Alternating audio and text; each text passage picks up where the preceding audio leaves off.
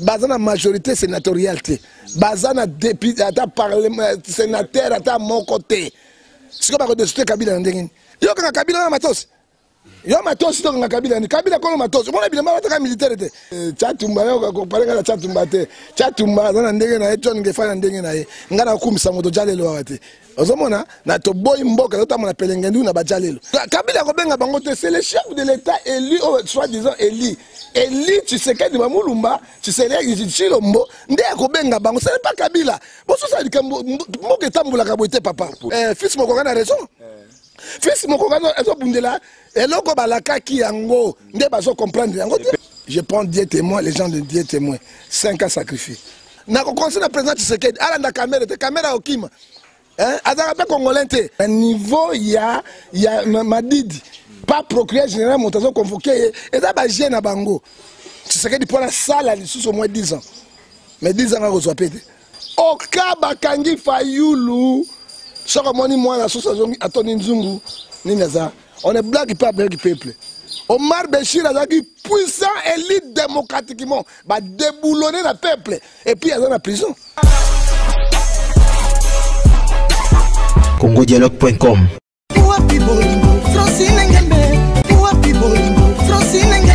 tika ete kimia eumela na mabota na bino baye banso bozwi libaku malamu ya kolanda masolo ya politiki masolo ya politiki oyo epesamaka na mwana mboka steve kambanga hein, puissance ya liloba eleki ya lisasi donc biso yeyo toza awa actualité ebele na congo demokratiki notamment Convocation na casier judiciaire ya mwana mboka le commandant du temple, du temple Martin Fayulu Madidi mpo na lundi oyo le 6 toza na actualité ya ba gouverneur oyo bayambamaki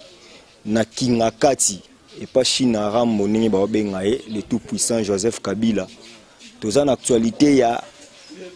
Investiture, ordonnance d'investiture ya Fatshi oyo a reconnaître ba gouverneur wana ba banda musala et tant d'autres beaucoup d'actualités toyambeli bino mwana mboka prophète John Ngefa l'homme de Pelengendu Mundungbo l'homme de Poloso nyonso wana eza mwana mboka John Ngefa mosali na Nzambe tobandi kopesa ye mbote mbote mosali na nkolo Eh, mbote ndeko steve olobi ya solo puissance ya liloba eleki ya lisasi soki tomoni na soudan ekwei liloba ti soki tomoni na algerie ekwei liloba soki tomoni mondumbo ezokɔta epai na france eza liloba parce que liloba eleki arme alors tokobanda te sans to remercier nzambe moi suis un homme de dieu il faut na banda na losambo mpo na nzambe apesi biso pema soki nzambe te mbe nalamuki oyo nabimi tosolola na yo te parce que mokolo pema ezali ye azoloba na ecclesia chapitre 8 verset 8 tata na lola totiki lisusu émission oyo na maboko na yo totiki mpe steve oyo azali kokamba yango pesa ye bwanya intelligence mpe science Totiki mpe mboka Congo na maboko na yo oyo bato ya pelengendu ya poloso bazolongwa te bazozwa toujours mboka en otage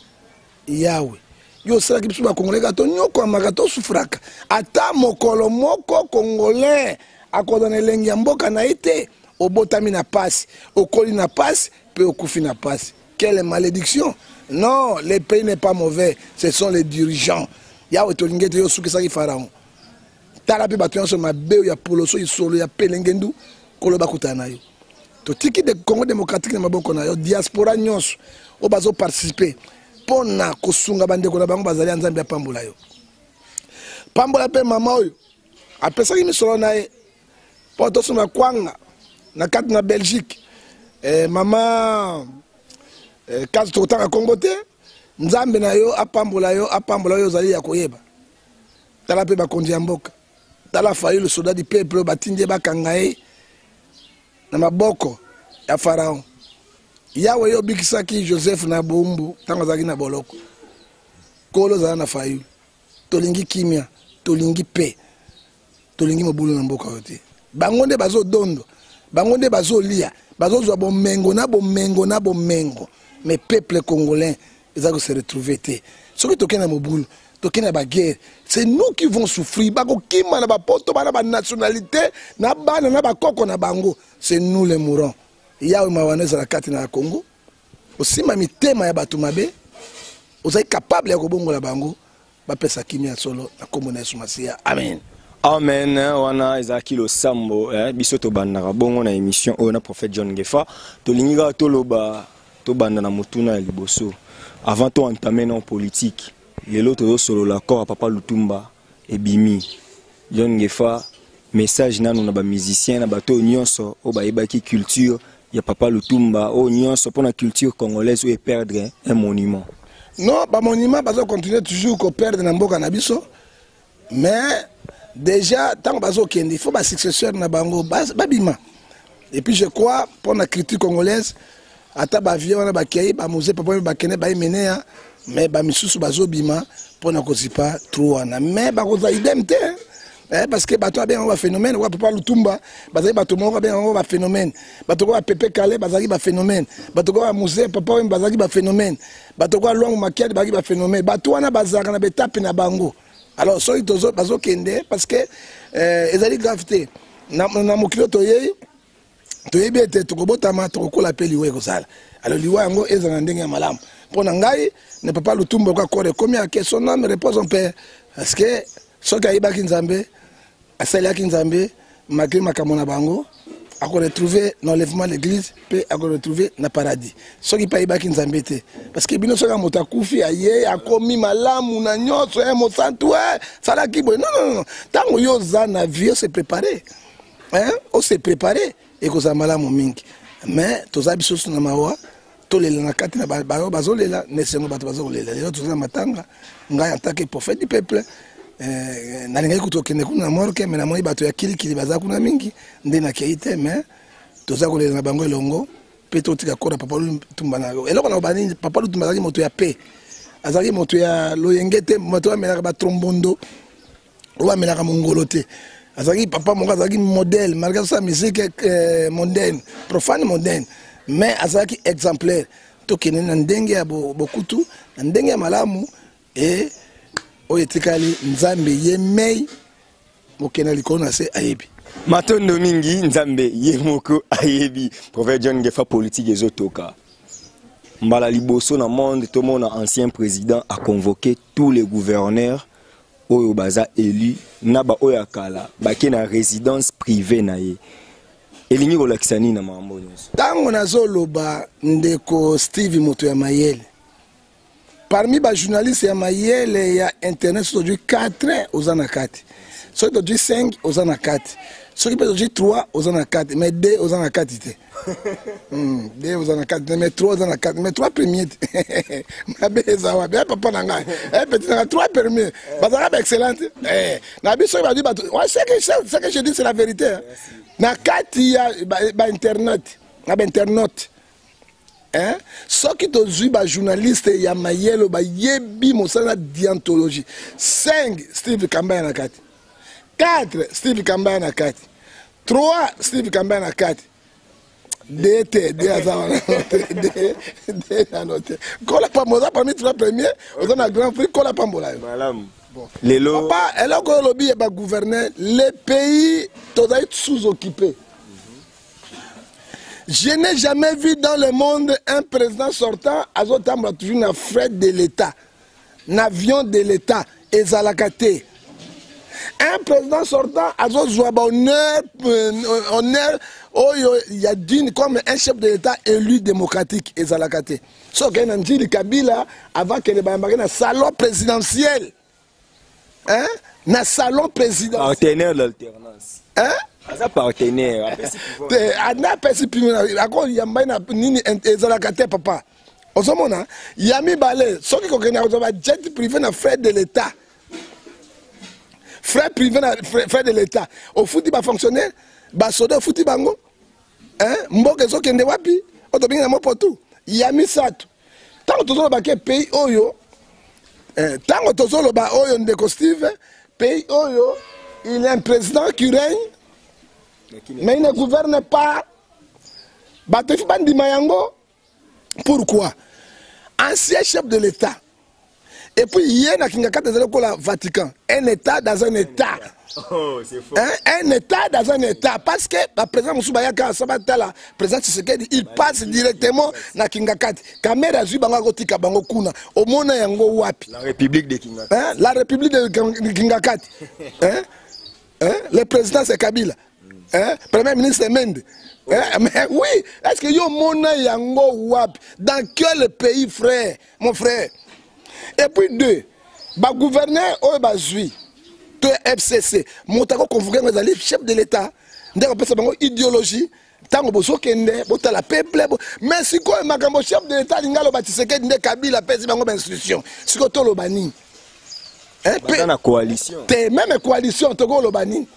Hein? Mais ça, la coalition FCC, hein? moi, je ne suis pas un, un, un portologue. Hein? Mais naye binza mapesinga mayele wana ya politique koleka. Na coalition, le chef de l'État élu Tshisekedi, dans la coalition entre FCC Nakash, directement chef de la coalition c'est Tshisekedi. Ce n'est pas Kabila. C'est Tshisekedi chef de la coalition. Ce n'est pas Kabila parce que c'est lui qui est au pouvoir. ozomona seke bato bazobosana yango me lelo coalition fcc na cash mais président na yango nde kabila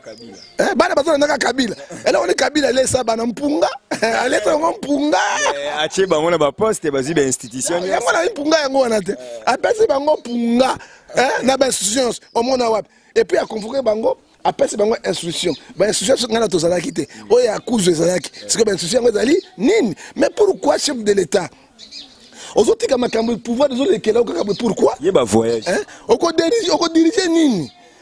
motu oyo kabila azolekela na mayele fcc olekela na mayele suka na yango ekobeta coup d'état constitutionnel suka na yango ifo oyeba bamabuni babimi na parlement sena eza ya bango basimbi pouvoir nyonso na maboko suka na yango soki ofungoli miso te eh, coup d'état constitutionnel eza kose préparer coup d'état constitutionnel ezo se préparer mais bango na cash balingi boloba bongo te babi baza na facilité ya kodissoudre parlement baza na facilité ya kokanga kabila baza na facilité ya kosala nyonso tshisekedi va régner pendant 10 ans bakokanga kabila nani kabila pene bakanga nini bakokanga kabila soki baza na majorité eh, parlementaire olandi nga yo okanga kabila na matosi yo matosi tokanga kabila ni kabila kolo matosi omona bilamba bataka militaire te mais ça dit quelque chose eh? kabila ezoka na bilamba ka militaire militaire ngai mpe nakomi mikolo oyo eh, mikolo nakomi mpe na bilamba militaire mpo okanga bafaux pastere na ah. mikolo amoni akomi kaka teni ya kabila wana ah. eh, ozomona mpo okangaka bato wana ozomona bango koma chatumba eh, abemisaka bato na eglise chatumba kopaleka na chatumba te chatumba aza na ndenge na ye john ngefa na ndenge na ye ngai nakumisa moto jalelo awa te ozomona na toboyi mboka totambola pelengendu na bajalelo ya mibale baza na majorité sénatoriale te baza na député ata euh, sénateur ata moko te sikoyo bakodesute kabila na ndenge nini bakodesute fcc ndenge nini na bagouverneur nyonso provinciaux bango baza si 26 province 24 pouvoir discrétionnaire ya chef ah, te ata pouvoir yango mais na démocratie partage ya bainstitution e, e, ekeseni e, oyebi yango na kati ya démocratie chef d'état akoyaka mbala moko te aleka ngai de mitie na boloko te fo aleka epa ministre ya, ya, ya justice akopesa ordre kuna ministre ya justice akopesa ordre epa procureur général procureur apesa na bajuge na magistrat nde bosa arrestation omoni ke séparation du pouvoir ezali yo ozoka te na états-unis kuna raison oza politologue eh, te mais eh, nalobi ozomona te na états-unis ke juge azotelemela président Eh, Trump juge azokweyisa mitindo na Trump alors bakabolaka bapouvoir wana ezalaka te soki chef de l'etat biloko tuna yo ezalaka te pouvoir ezali divise ozomona alors kobenga déjà bachef de l'état kobenga na yo bagouverneur eza si mabe ye akobenga bango Hein? Et puis na ba oyo mosusu ya ba FCC na ba nani na ba cache pourquoi po apesa bango ni lui n'est pas chef de l'état il est sénateur en vie atika la famille politique na ye eloko moko ti oloba ya bien parce que ba gouverneur mwa bato ya cash mpe baza moko mpe ya lamuka eza mais siko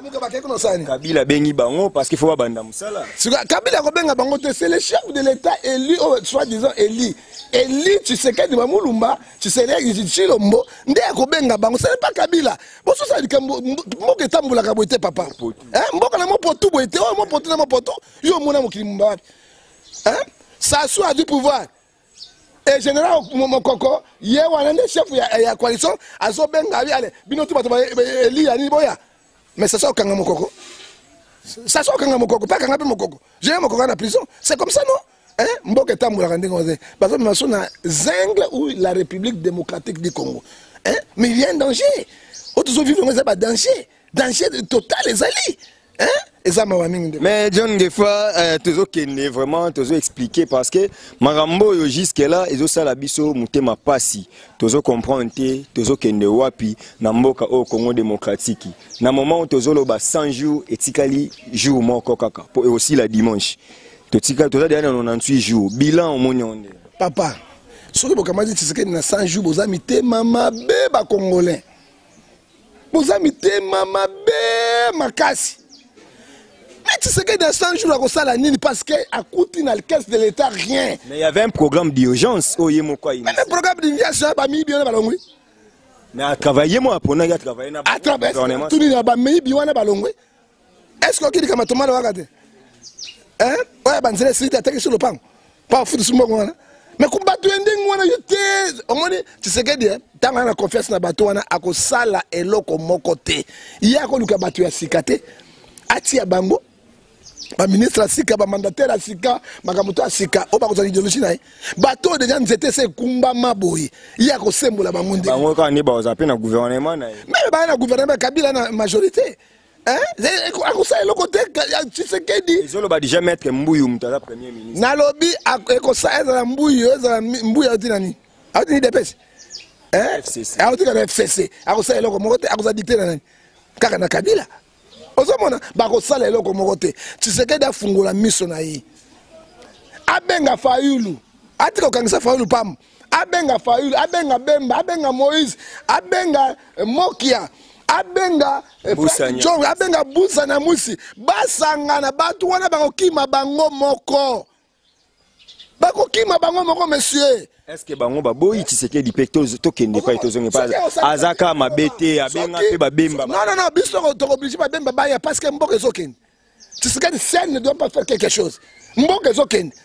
Hein? Ba Rwandais nyonso bazo changer ba nationalité na bango, bakoma ba Congolais, na bakoma ya batatu kabishi, na bakoma ya banani, nyonso bazali. ozomona balongwe na recouroi bakomi sikoyo na tatu shu te ozomona bazingi yango cinge fanga tatukabishi ozomona ye azo comprendre ideologie wana te mokoko na bango aza na eh, fils mokoka na raison eh. fils mokoka azobundela eloko balakaki yango nde bazo comprendre yango te le peuple d'abord mais sikoyo le peuple d'abord te ezalaka nini bashunaramo d'abord bango bazalaki bazali bazo continue bilan ya négatif bilan ezali vrai négatif et puis toko juge secret sikoyo te mpo na to juge secret il faut moins 3 ans 4 ans parce que kabila avec bato na ye ils ont tout pris l'argent atiki meme ba réserve monétaire na banque centrale te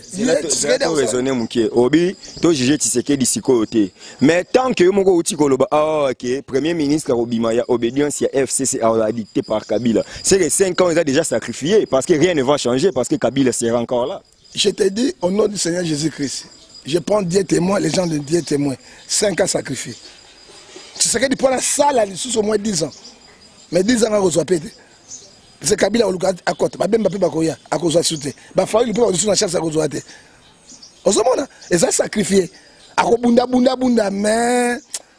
mikato eza na se makasi mikato bakangi ye mikato na mokole ezwi ye oyebi mokole soki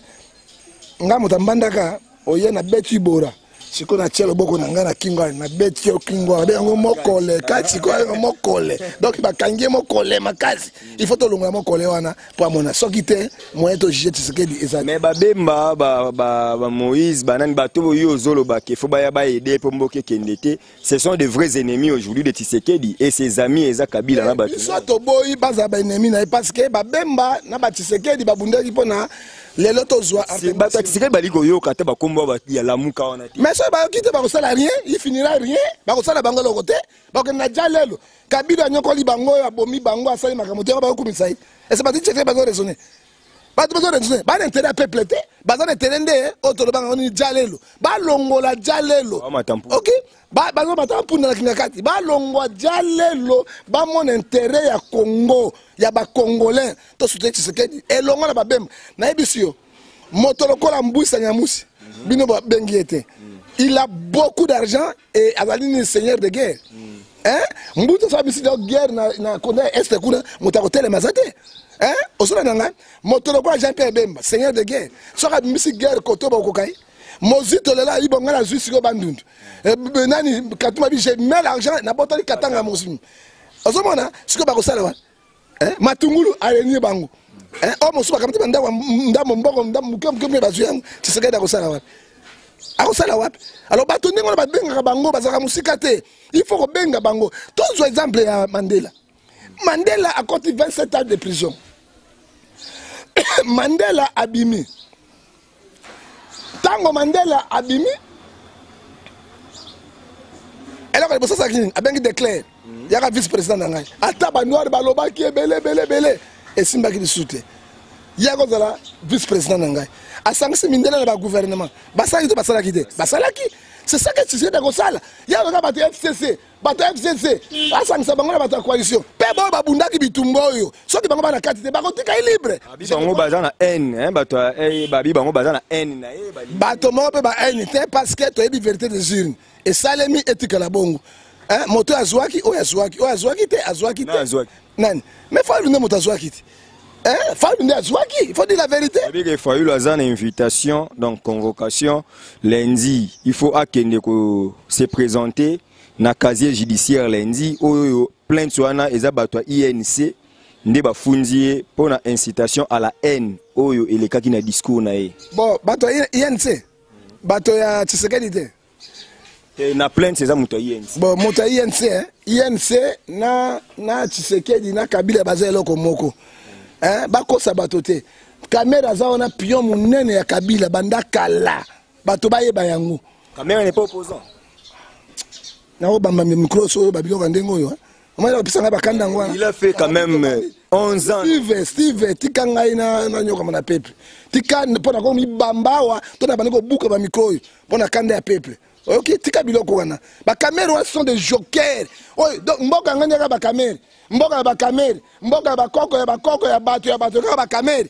non le pays ezalaka boye te na ba président vie ozomona inc atika eloko azolinga parce que na eloko oyo azosala akokoka te hein? et puis nakopesa conseil na président eh, je, eh, président eh, tshisekedi longola kende yo ozali juge suprême premier na institution ya justice yo na mokonzi kende koboma rapidement avant avant avant avant soda du peuple akoma kuna yeba boye peuple eza nsima na ye mindele ba nsima ya, ya fayulu bazoluka eloko moko okoya soudan esalema awa eloko ya soudan elingi kosalema awa na congo soulèvement populaire eza kose prépare na ye na kamere oyo azofunda na kabila bakozala te bakozala lisusu te nalobi ndenge peuple eza na pouvoir ya peuple nani andimaki moto ko omar beshir il était élu démocratiquement un puissant président puissant peuple debala ye okola mwana moke qu'il croyait en algérie botifika un président à vie mais peuple ebala ye okola mwana moke nakokonse na président tshisekedi alanda kamere te kamere akokima azalaka mpe congolais te oh. il faut dire oh. mpe kamere ya congolais Kamera Kongolo kwa aza mushi ya eh, Bukavu. Mushi ya Bukavu te, c'est Rwandais bayaki na Burundais. Bayaki tango Mobutu Bisengimana na azalaki directeur cabinet ya président. Tango génocide esalamaki ndenge bakimaki yele yawa et abelo kata cours na Kapisa université. Ce n'est pas un Congolais du tout. Yamba Vital Kamerhe ayebisanga atanga na EDAP ya Mbujimayi na première primaire. Mais sikoyo atanga mpo na nini? akotanga soki atanga na premier te yoka nayebisa abandi classe ni na congo yoka nayebisa yo soki atangaki origine ezani papa ni aza nani mama ni aza wapi bayaki na génocide rwandaise bisengemana azalaki directeur eh, azalaki directeur ya cabinet ya mobutu ce sont des rwandais rwanda ekoti na mboko lelo te chen tshisekedi abanda oyebisa bisengemanake j'ai étudié avec ton père eh, ton père un rwandais Tshisekedi le père aza koloba ngo verite ya bu père père ya Tshisekedi kamere sto rwandais Tshisekedi le père eh père ya Bisengimani eh oyo azo kobomba yango te ntango bango bayaki na génocide wana nde baprofite lokola bapere bango bakende mwa moyen nde bakotisa bango na bakasete université ya kinshasa origine ezani moto akosa moninga te abangisa motu te alors ntango azoluka kanga vrai congolo kwa fayul yeba te moto ya nsima fayulu mpe baolo bapapa ndeko mine keita fayuluwana lokuta fayulu bandeko na ye meme pere kende na bandundu okomona papa bamama bandeko ne bazali sikoyo moto nyonso kaka étranger qui est vrai congolais sengefa qui est vrai congolais sengefa jour mosusu bangana camerounais eh. Eh, kala te bangana camerounais nga mpe bakoloba na marocain marocain zoma mwa tsolo sa mwa tsolo marocain wana well speak english yes how are you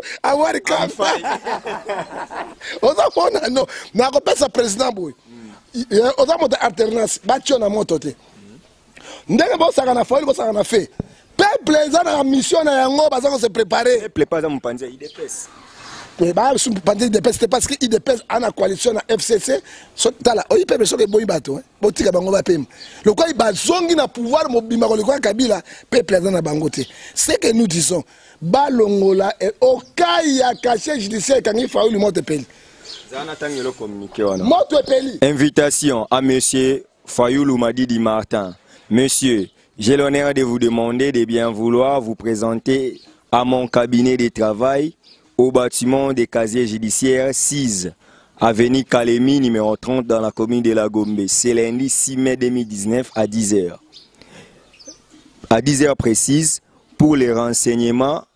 utiles à, me communiquer. Veuillez agréer, monsieur, l'assurance de mes considérations distinguées. Jean Baelonga dit commissaire général adjoint chargé de la police judiciaire. Yangoyo. Ça pas procureur. Na niveau ya ya madidi. pas procureur général moto azo convoqué ye eza baje na bango commissaire général adjoint chargé de la police azo convoqué azo convoqué sans procureur sans procureur général ya cour de cassation ou bien sans procureur général ya cour euh, constitutionnel mais tala omoni baje wana bazaluka banyata fayulu me moto eza wana te eh, na conseiller na président tshisekedi aautorise biloko wana te parce que ah, mais mobala mama babengaka nani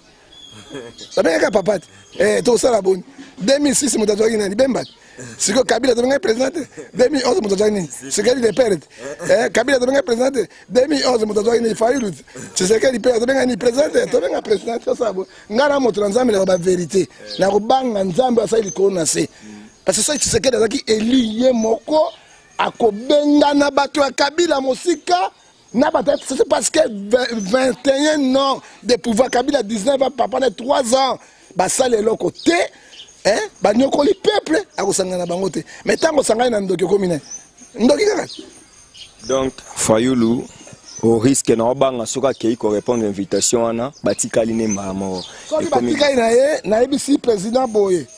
soki batikali na ye ezali erreur grave deke babemba baa libanda bamwisa nyamusi baa libanda yoka moto wana eh, oyebi moto akoki président alamuka sikoyo moïse katumbi echapwe bamoïse baza libanda hein? papa président nabondeli yo na bolingo na nzambe nalongola chapeau parce que moko nyonso autorité ça vient de dieu longola eloko wana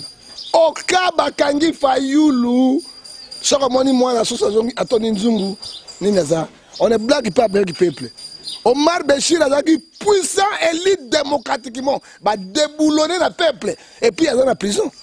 hein? moto namonaka na prison ya makala wana bino momesene bamalili esika na bango kuna ekozala malamu te soki bato balingi yo na ntango oyo mboka ya na bulu yeke on cherche la paix il faut koluka paix baluka kokanga bafayulu te fali azali leader d'opinion soda du peuple ata mwana deux ans akobima mwana ina nene libuma mwana bi azwi azobenda na kio liberation ya fayulu sikoyo bokosala nini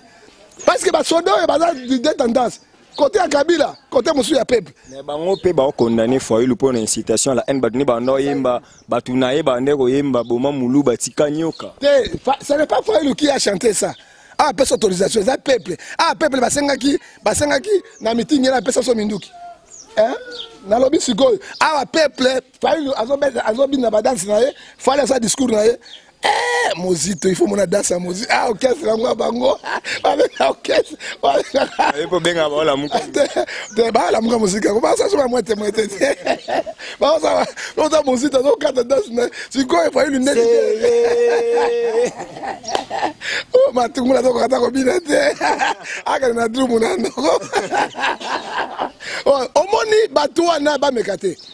bameka te bameka te bakotikala na fayulu te nazobenga président fayulu sikoyo soki lobi temps ezali nakuta na ye nakuta na ye nayebisa ye eloko nini oyo ezali mpo na yo akende kondima invitation to akende il faut akende un bon citoyen bakonvo toyoki deya sango ke baboya bima efakaki afrique du sud mpo na soin médical na aéroport baboya bima bon eza pouvoir na bango ebanda nyonso mabe yango wana te etat de droit etat de droit eloko tokondana na kabila yango ebandi nyonso mabe yango wana alors soki baboya bima ekozala mpe mabe mingi ekozala malamu te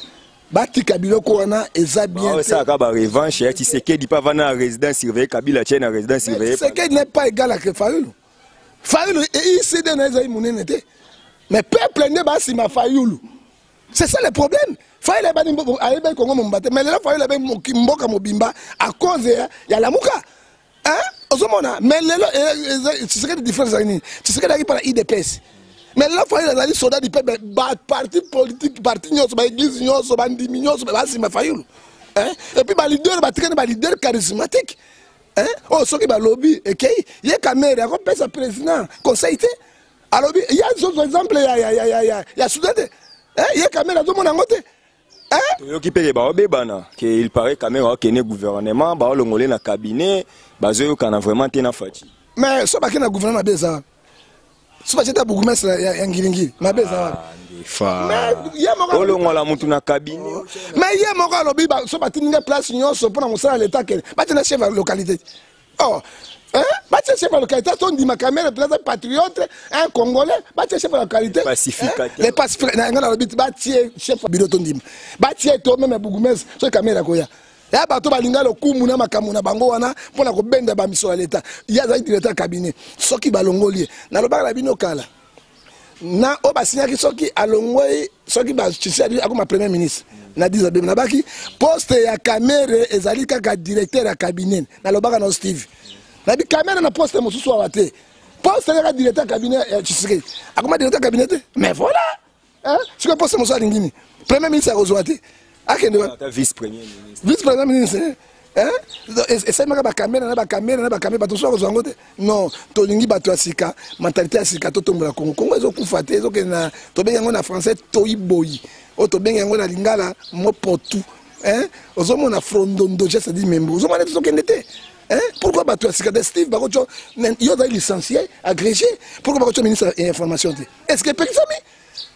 oza na intellectuel ozali licencie agrégé yo steve est ce que yo okoki kosala eh, okosala eh, eh, ministre ya communication te eloko nde epekisi yo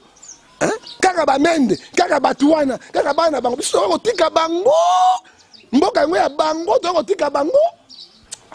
Steve nakolela pardon tika sona naleli awa ekosa mabe nalela tokomi na suka ya émission masolo ya politique bocomprend john ngefa il a parlé avec tout son cœur donc toloba vraiment à cœur ouvert ndenge tomesana na batitrage na biso na internet à cœur ouvert donc john ngefa cœur ouvert eza pasi bocomprendre ezalaka sentiment kaka te nde esalaka tofanda mpo toza na mposa toyebana te C'est toute une lutte oyo tosalaka nasepelaki bolandaki baemission ndenge chatumba bishop alobi ke abandaka omona biso mibale ondire toza to baextra terrestre tovandaka na congo avec mpe bapasi oyo tokutani nango baenlèvement bakozoka banini mais tobundeli mboka oyo mais regret na biso ezalaka mpo mboka yango nanu tozwi yango te bato yango vive kaka bango na bango na bana na bango oyo president alongoli ndeko ne gouverneur oyo boye kosuka bandeko na ngaiseni ndeko ne moko gouverneur bandeko mosusu bandeko na ngai badepute yango toye kotika bato nzambe na ngai ya lola mokei na likolo na se oloba oloba te ah! ya solo mwa ya suka ngai na mwa ya suka te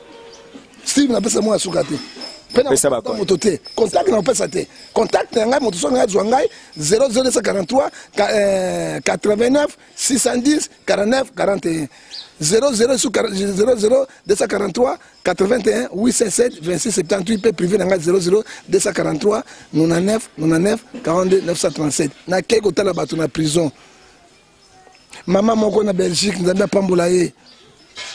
naki komona na pavillon 7 na pavillon 12 10 namoni bamoribon les congolais qui meurent dans les prisons qui manque même un petit pain ozopesa lipa na nguba moto azolia akoma pembe bandeko na ngai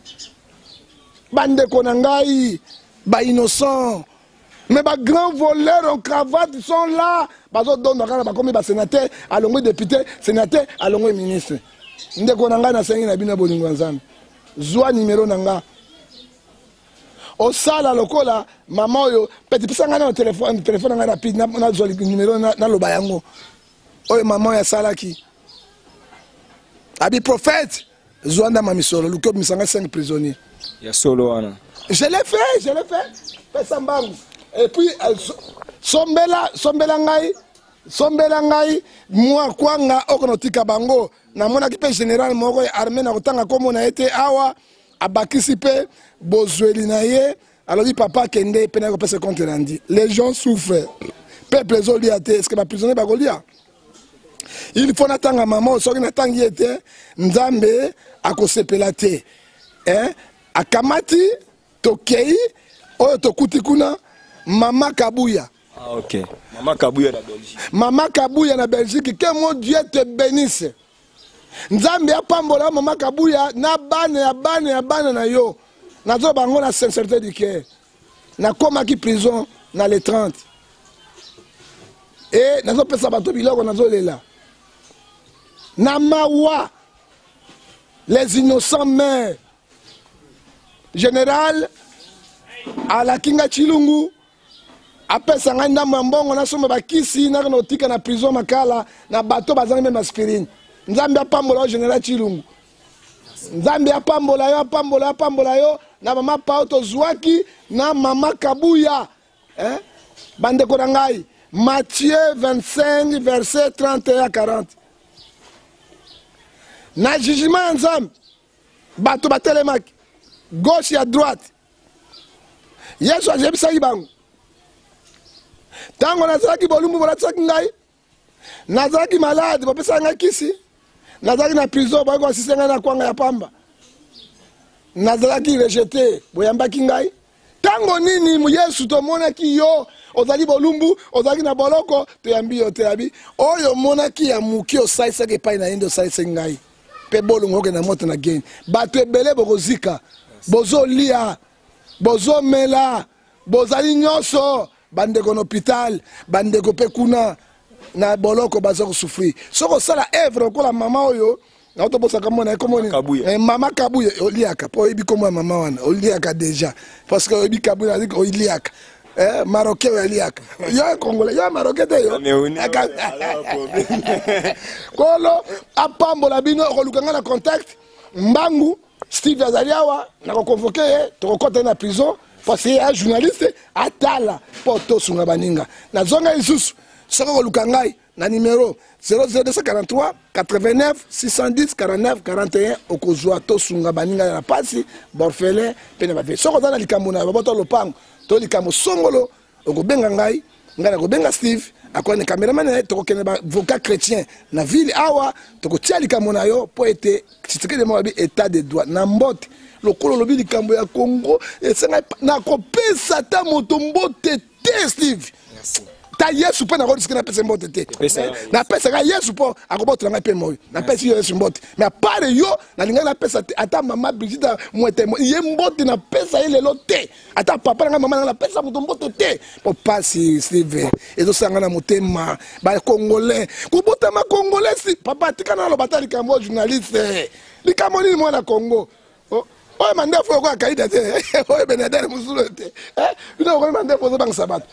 congo sada misene mona chapeau te sageri bageri baza ebele awa mpo na congo bandeko na ngai tolingana tosalisana tozala bomoko totika biloko na ntango oyo kokonvoka bakafayulu ekobimisa steve ekobimisa eloko ya malamu na ntango oyo peuple ya mitu ebebi te nasuki wana apesaka yesu mbote moto mosusu ya mibale napesa mbote te mpo na kongo nasuki wana Merci ezalaki prophète John Ngefa nga na bakisi mbote na papa Ngefa na Suisse hein papa na biso na mama na pesi mbote na mama Brigitte mwete mwete donc motema ya prophète John Ngefa